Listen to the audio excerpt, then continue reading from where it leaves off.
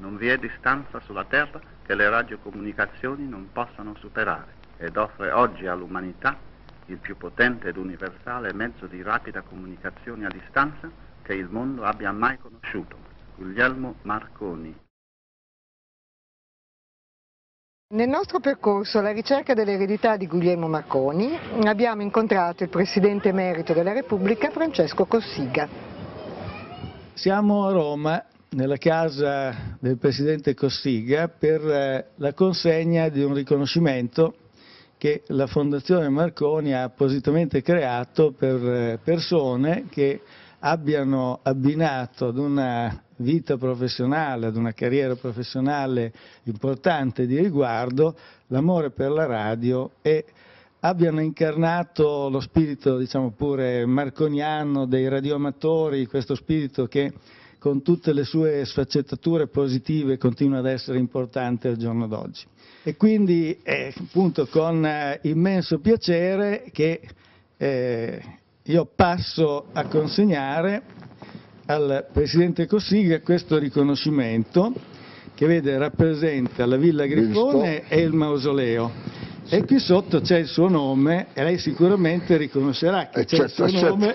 Perché c'è il Morse. C'è il Morse. Che adesso non viene usato più. Eh. Non viene usato più, ma noi l'abbiamo conservato appositamente per questi riconoscimenti. Io ci avevo anche un tasto. Sì. Un tasto di quelli orizzontali.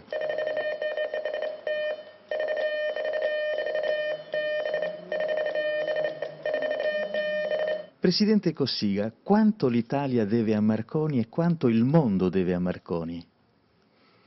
Beh, si potrebbe forse fare la domanda quanto in vite umane deve a Marconi.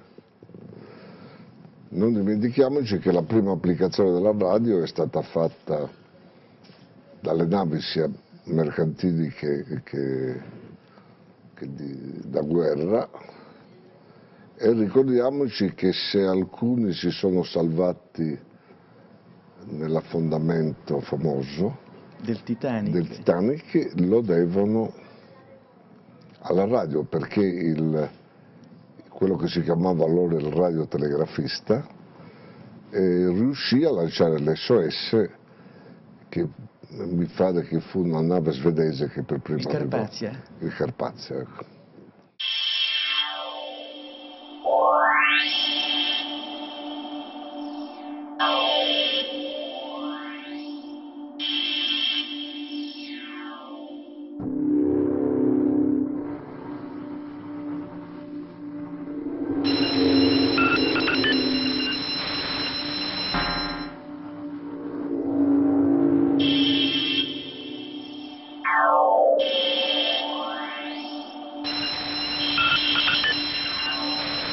Capitata una volta a Sassari che ero in ascolto e ho captato diciamo, il Mayday Mayday di un'imbarcazione da diporto.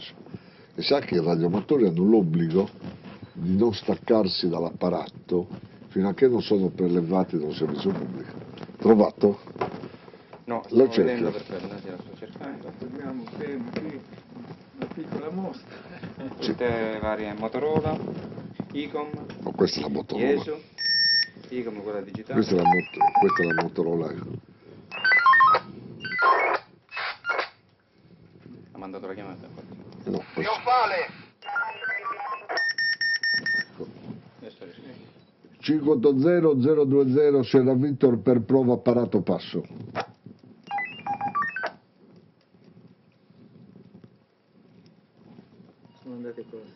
Eppure l'ho chiamato loro. Eh? Sì, sì. No, no. È arrivata la selettiva. Eccola. Ecco. Avanti 020 Sierra Victor per prova apparato passo. Ok. Io ricordo quando fu inaugurata la prima collegamento radio tra il Vaticano e l'Australia in occasione del congresso eucaristico che è sempre un segnale radio, più indeciso premette un tasto e si è acceso lo stadio per, per il congresso qualistico australiano. Presidente, c'è secondo lei un'attualità di Marconi, anzi eh, vorrei riformulare la domanda in modo più preciso.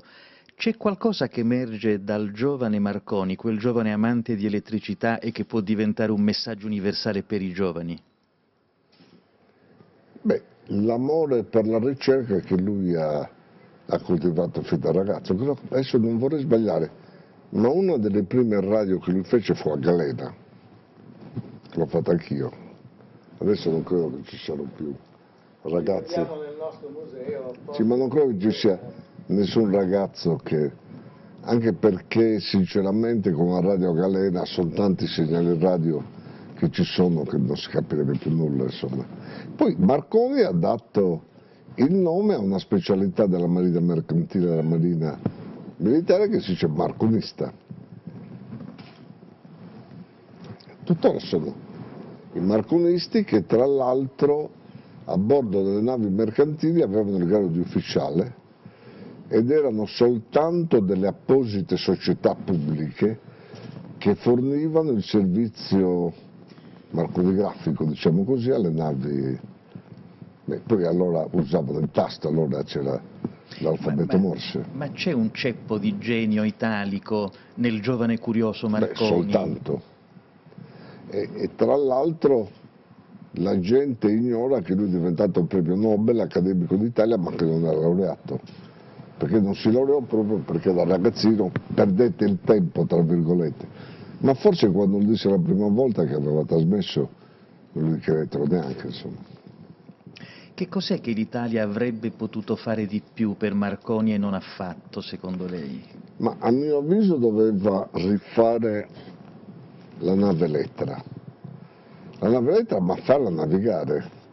Ma lei lo sa che c'è una legge che si chiama ancora legge Marconi?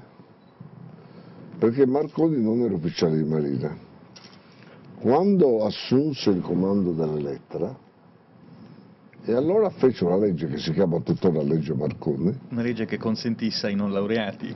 A, no, a chi non aveva fatto il servizio militare ah, addirittura. Già a chiunque sia di utilità per la Marina. Adesso è stato esteso anche ai carabinieri, all'esercito e all'aeronautica ed è la famosa legge Marconi. E io sono diventato capitano di corvetta in forza della legge Marconi. A due italiani si deve un, una grande scoperta. Una, e solo pochi anni fa la, lo ha riconosciuto il congresso americano, uno il, il fabbricante di steariche, Meucci che ha inventato il telefono, e prima gli americani dicevano che era stato bello e solo qualche anno fa il congresso americano ha riconosciuto che era un italiano che a New York fabbricava candele steariche e l'altro Marconi, insomma, Marconi più grande, è stato anche più fortunato. Cioè, se uno accende la radio e sente le broadcasting, deve ringraziare insomma. In un certo senso se il mondo è diventato più piccolo lo dobbiamo anche a Marconi. Beh, certamente.